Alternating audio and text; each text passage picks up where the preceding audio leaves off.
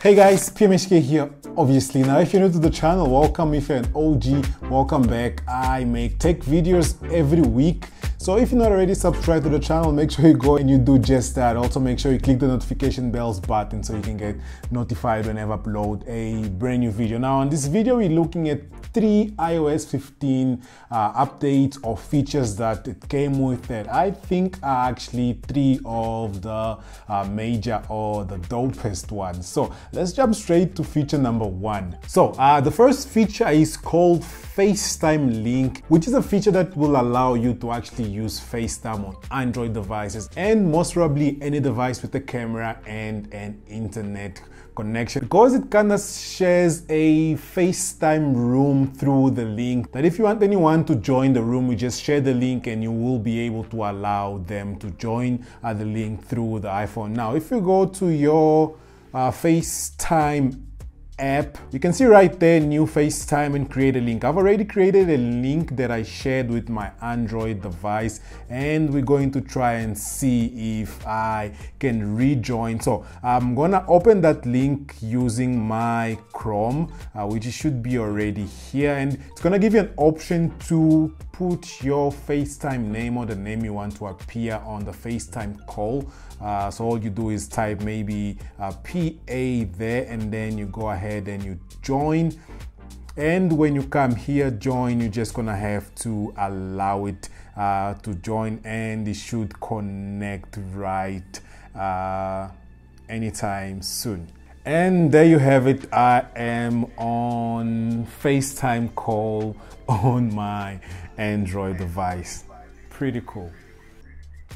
And also still under FaceTime, one of the new features that they actually added is uh, for you to be able to do portrait mode when you are on a live call, which I am basically at it right now. It's like, as you guys can see, my background is actually really, really blurry. And this is the effect that's gonna actually give you. And uh, you should be actually appearing much clearer on the other end or on the other person that you are FaceTiming with as phone. Now, the second update or feature is in Safari Safari. Safari has actually been updated from the ground up, at least in the way Safari itself looks. Uh, if I can show you guys now how Safari looks, uh, this is the new uh, Safari Safari. As you guys can see now you have the, the place that you enter the website is now really under uh, in the bottom which is actually much easier for reachability. And other thing that I actually like now is when it comes to switching pages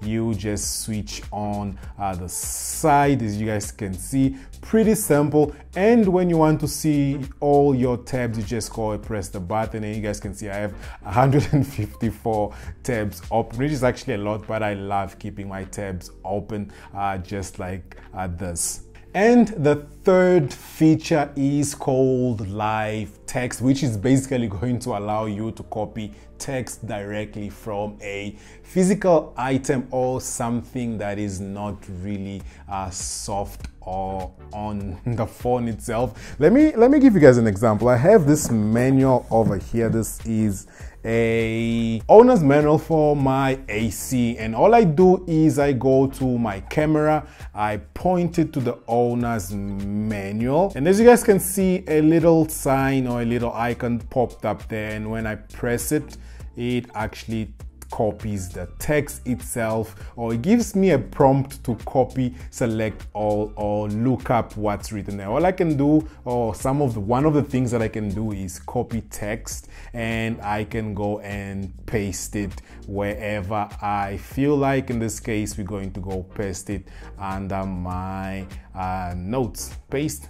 As you guys can see split type wall mounted air conditioner. This can come in handy if you are actually let's say writing a document and you just want to copy something from an outside printed already document becomes uh, much easier. Now, one extra feature that I'm most probably not going to be able to show you guys uh, in this video because it's not even available yet in the States uh, is uh, in wallet. Now you will be able to add on your wallet your ID card and as well as a key that you can use to unlock your house. And there's also a key that you can add there that you can use. These are digital keys that will allow you to open and start your car. Now these features obviously are going to be released first in the states. The digital car key obviously the manufacturers are gonna have to add that feature to their cars before it can actually even work on the iphone. Obviously authorities are gonna have to authorize you to be able to use your id which is actually something that i really don't see coming anytime soon